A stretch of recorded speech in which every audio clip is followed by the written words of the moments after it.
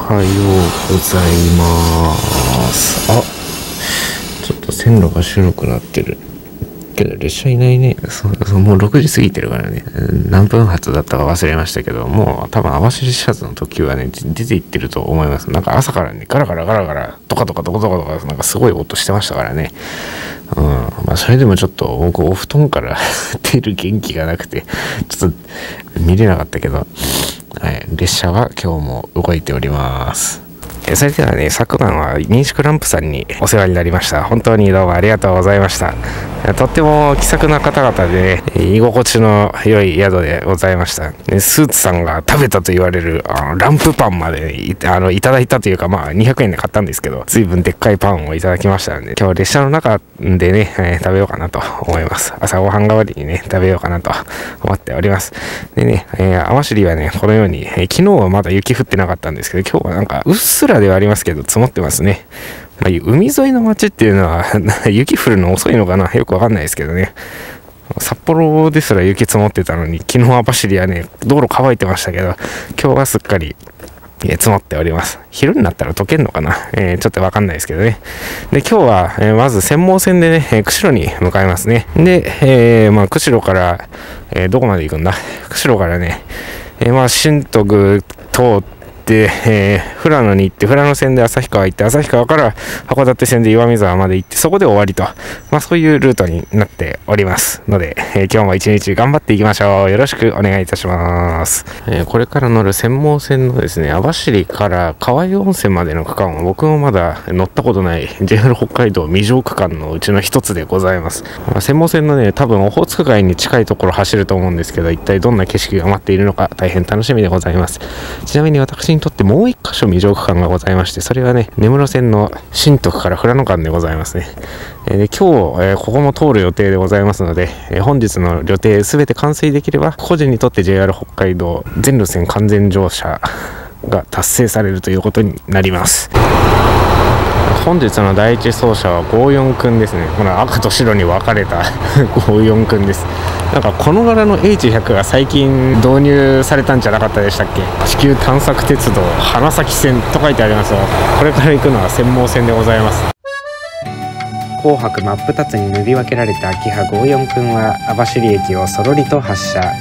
最長片道切符の旅2日目の始まりです網走駅を出てすぐ専門線は広角感がございます。網走駅の周辺はホテル以外あまり目立った建物がありませんがこの辺りは住宅が密集しており生活感がありますね。一本トンネルを抜けるとオホーツク海と出会います。朝焼けのオホーツク乗客が一斉にシャッターを切ります。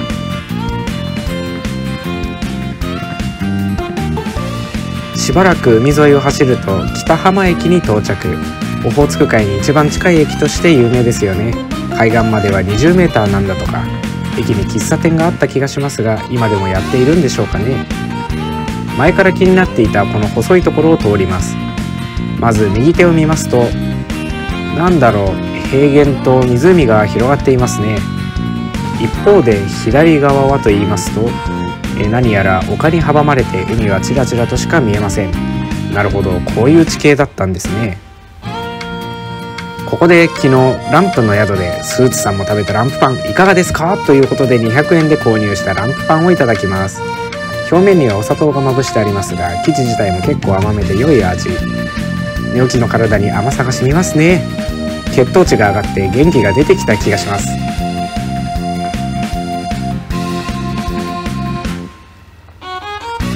車内が突然変な匂いに包まれるとそこは河合温泉。ここには溶山がありまして辺り一帯ではあの温泉独特の香りが立ち込めます。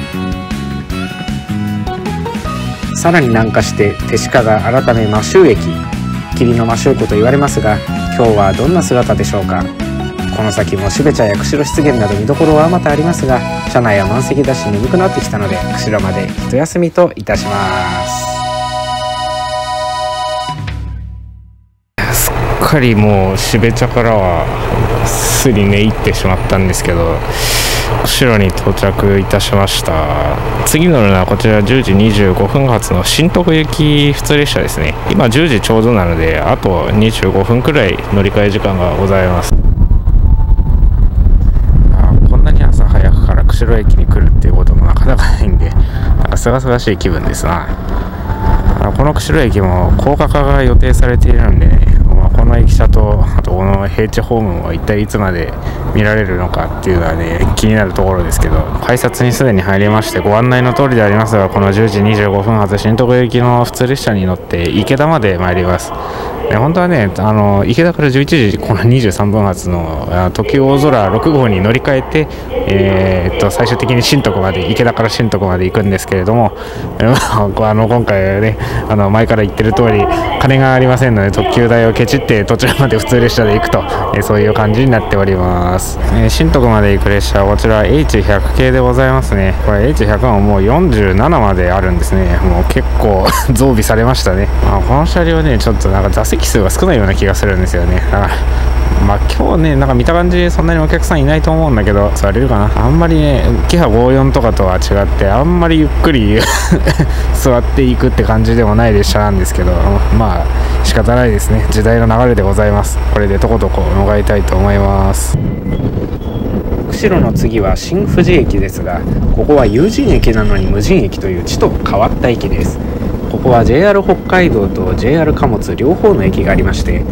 旅客営業は無人だけど貨物側の駅員はいるというわけです。貨物と旅客両方を扱う駅を一般駅と言いますがこういう形態の駅も珍しい存在となっているようです。貨物側は2011年に駅名を釧路貨物駅に改めまして一般駅っぽさも薄れつつありますね。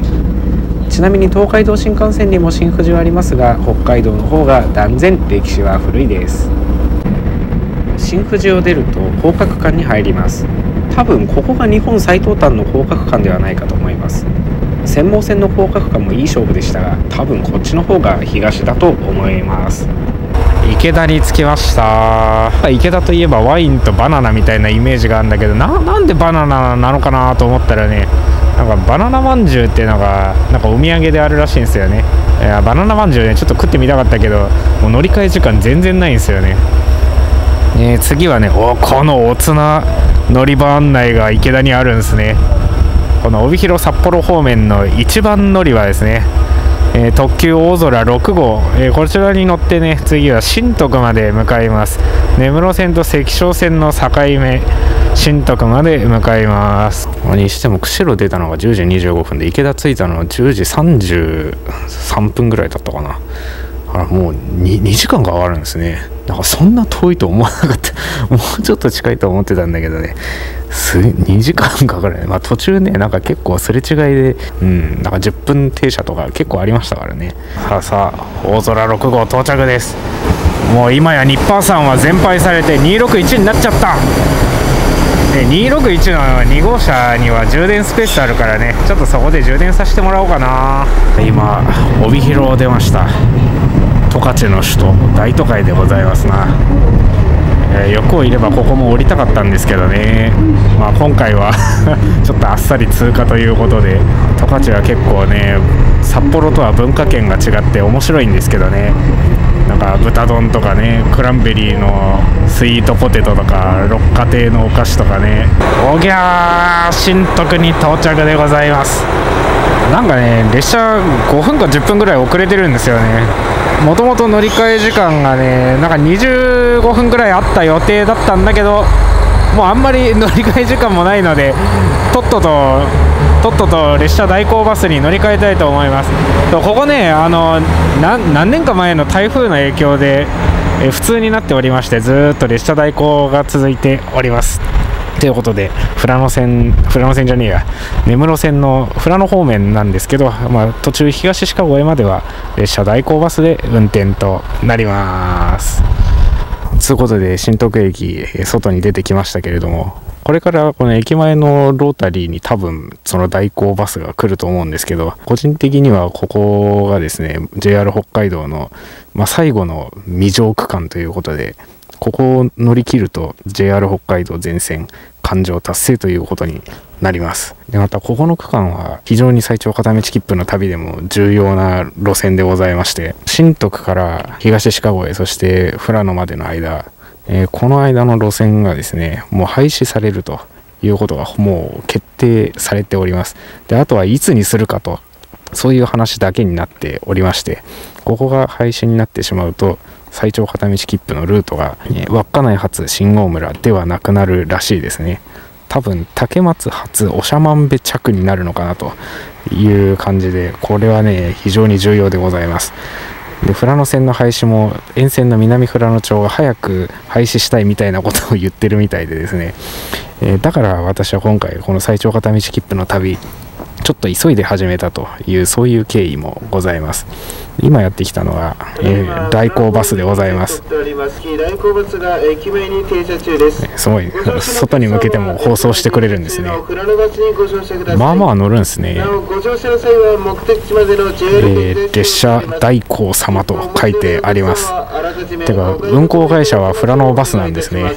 はいじゃあ富良野バスに乗ってまいります。この代行バスに乗る前になんですけどちょっと一つご紹介したいことがございまして本日でゲストをお呼びしております。そのゲストがですねこちら北海道のお散歩系 YouTuber のタロ散歩さんでございます。今必死に撮影されておりますけれどもですね今日はこちらのタロ散歩さんと一緒に最長片道切符の旅を進めてまいりたいと思います。北海道最近は本州まで足を伸ばしている お散歩系の YouTuber タロ散歩さんでございます。どうぞよろしくお願いいたします。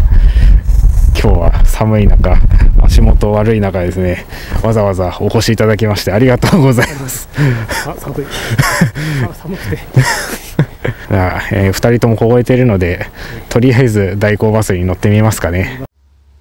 根室線というのは新徳を出ますとこうちょっとうねうねと曲がって途中で関彰線と分岐をして南富良野町を通って、えー最終的に富良野市。まああの滝川の方まで行くとそういうルートなんですけれども、えこれから乗る代行バスはですね新徳駅を出ますとこの黄色いあの国道をずっと通って狩勝峠を越えて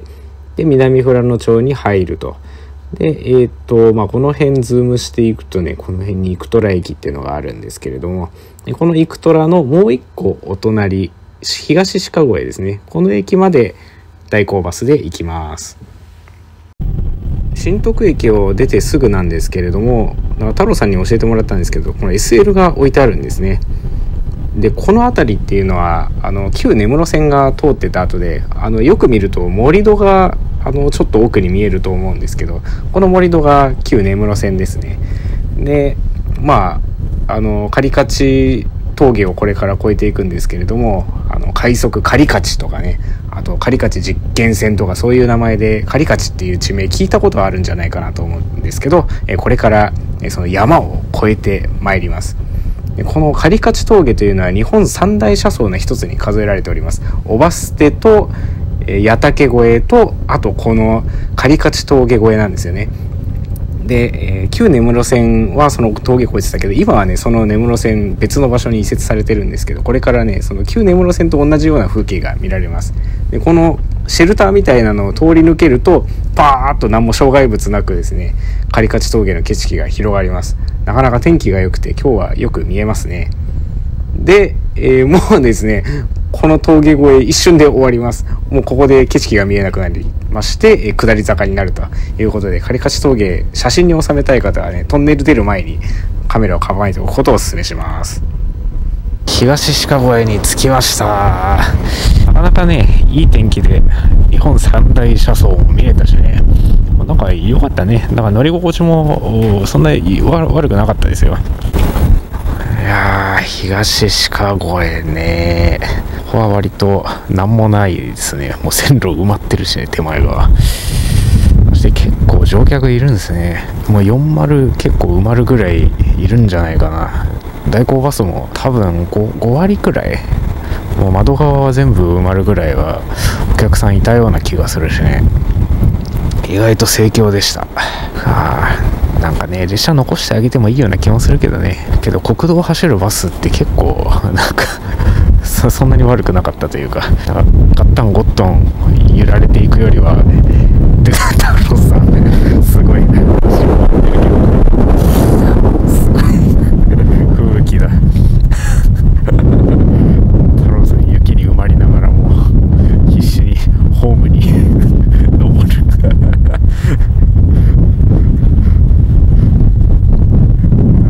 太郎さんとはね結構前から知り合いなんですけど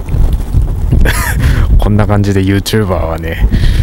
身を粉にして動画を撮ってるんですよっていう 裏話でした。今日も JR 北海道をご利用くださいましてありがとうございます。普通列車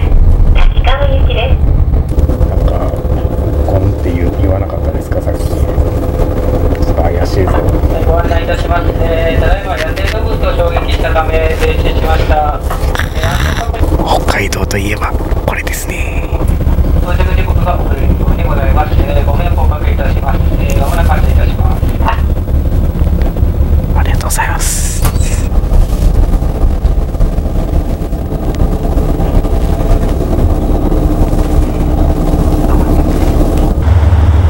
富良野に到着いたしました僕が乗ってきた列車はねこのまま滝川まで行く列車ですねあなんか優しい警笛ですね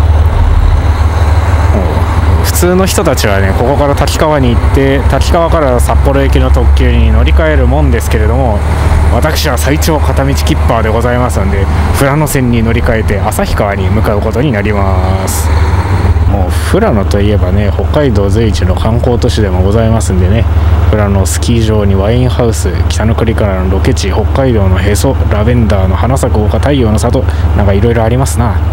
今の時期は多分富良野スキー場が一番いい観光地なんじゃないかなと思うんですけどあのニセコがねとっても有名ですけれどもニセコに負けず劣らずいいスキー場なんだそうですよ。でこのね富良野のサラサラのパウダースノーこれがねなんかスキー客には結構人気なようでございます。ちなみに今日ご一緒してる太郎さんなんですけど太郎さん今まで最長片道切符になんか数々会われたことがあるそうで。あありますね。あのテクさんで最長片道切符4人目お会いすることになります。あそうなんですか。そうなんですよ。前回があの渡川さんというあのブログやってるらしいのではいはい、渡川さん、はい。はい。存じ上げております。ブログやってる方の渡川さんで、まあ、本当にちょっとだけねくっちゃんからおしゃまんべまで。ああ山線で。山線。でそのさらに一つ前がはい。白衣さんですね。白衣さん。あのも桃鉄形式でああそうでしたね。毎日サイコロ振って。割と4が多かったんですけどね。あ そうなんですか。ああ白衣さんね。これまた大物でございますな。その前が一番最初なんですけども、はい。まあ、なんとなんと西園寺さんだったんで。す西園寺さん。す すごいですね。でまあの西園寺さんと。そうあのあの西園寺さんで。もまだ彼、うんとね、1300あー。1400とかそれぐらいの頃の西園寺さんすごい。声はめちゃくちゃかけやすかった。あ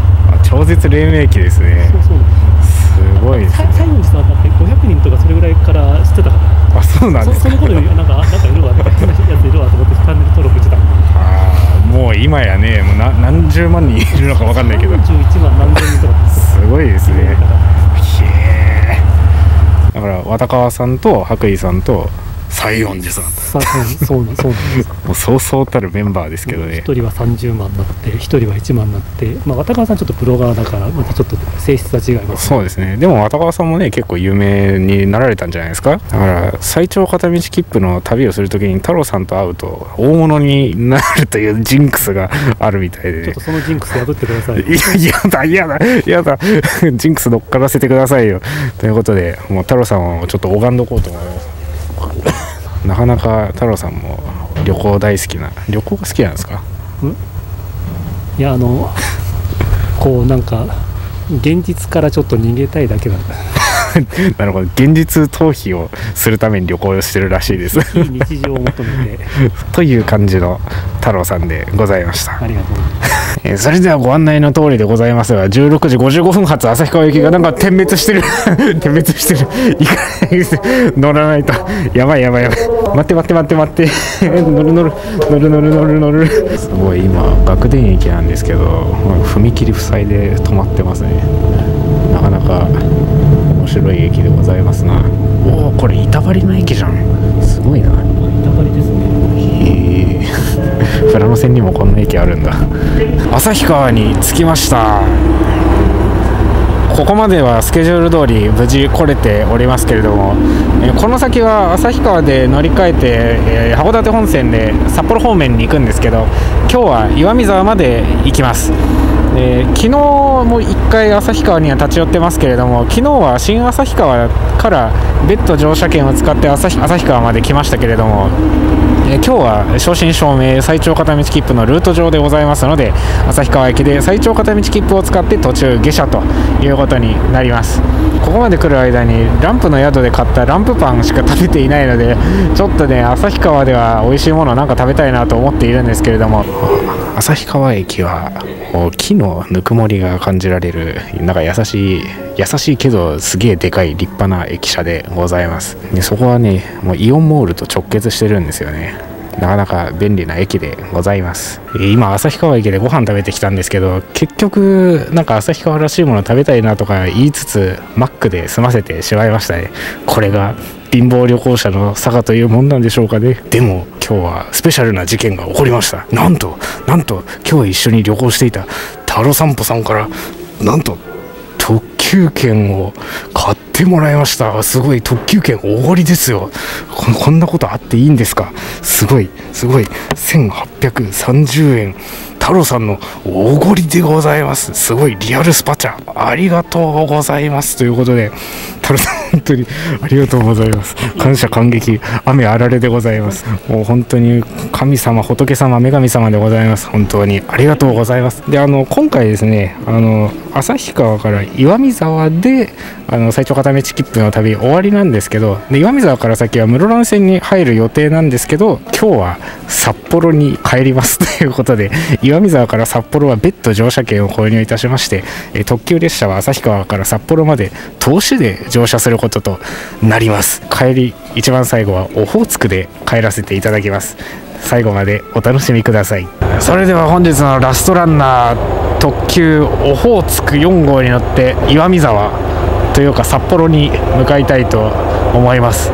人の金で買ってもらった特急券を使って札幌まで帰ります。今日のラストはあ普通の1パーさんですね。それではただいま一番最後本日のラストランナーオホーツクに乗っておりますけれどももうこんなになっちゃってますね。もう隙間から雪が入りまくっておりますが、えこの車両も今年度で引退が決まっております。寂しくなりますな。本日の残りの工程なんですけれどもまあ、あのこの最長片道切符は岩見沢で室蘭線で沼の畑で千歳線で白石で函館線で、まあ、札幌方面で長万部というふうにこの先は続いていくんですけれども最長片道切符の旅は打ち切りとなります、まあ打ち切りというか岩見沢で途中下車をするという形になります。このまま札幌までこの特急に乗っていきます。また後日岩見沢に戻って岩見沢から最長片道切符の旅を再開するとそういうことになります。なぜこんなことをするかと言いますとねこの土日は私休みなんですけどまた明日月曜日なんですね。月曜日皆さんお仕事学校あると思うんですけど私もね日常生活に戻らさせていただきます。